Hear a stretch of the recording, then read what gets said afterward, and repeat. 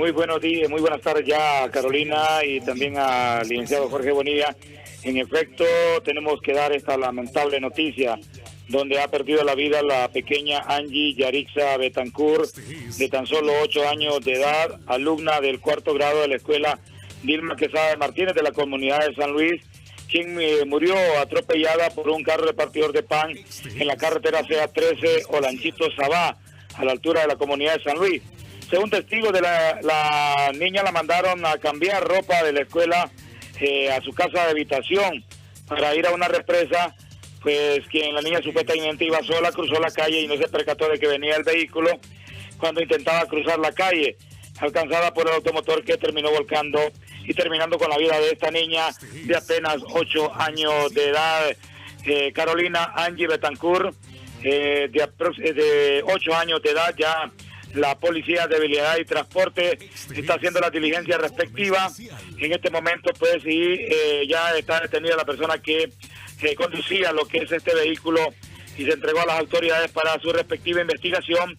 de, de quién pues eh, pudo haber tenido la culpa, si fue la niña que se metió o el automotor venía a alta velocidad. Ahorita pues están haciendo las pesquisas respectivas, están haciendo toda la investigación para eh, pues, determinar quién tuvo la culpa en este accidente, donde lamentablemente pues tenemos que informar que perdió la vida Angie Yarixa Betancourt de tan solo ocho años de edad que cursaba el cuarto grado de la escuela Dilma Quesada de Martínez de la comunidad de San Luis. Estaremos eh, ya investigando y teniendo el nombre del conductor que se conducía en este automotor de esta empresa eh, vendedora de pan acá en la ciudad de Olanchito. Con ustedes el control de HCH Televisión Digital, Giovanni Romero desde la ciudad cívica de Olanchito. Giovanni, ahora una pregunta. Esta niña estaba en clases, ingresó al centro educativo y las maestras la mandaron a cambiarse de ropa.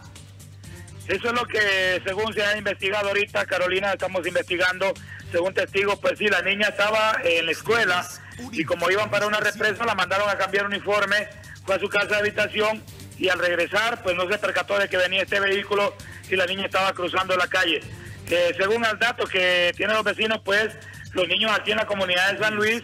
eh, Carolina, cruzan la calle o siempre van para la escuela, tienen que cruzar la calle. Al otro extremo, pues eh, viven bastante personas del extremo izquierdo y derecho de lo que es esta comunidad de San Luis. otra cosa, aquí Carolina, en este sector del Valle Abajo, varias comunidades han hecho túmulos en lo que son la, la calle CA13, la cartera CA13, eh, por esto, porque los vehículos aquí, pues siempre sabiendo que hay una comunidad y que están a la orilla de calle, se manejan a alta velocidad. Aquí adelantito, en otra comunidad cerca de la comunidad de San Luis, donde ocurrió este accidente, han habido bastantes personas que han perdido la vida y es por eso de que han puesto túmulos y eh, me imagino que en este momento, pues acá en esta comunidad de San Luis van a tomar esa misma eh, decisión porque ya son varios accidentes que se han dado en este sector de la, la comunidad de San Luis, en la carretera CA13, en el sector del Valle Abajo, como le conocemos acá en el municipio de Lanchito.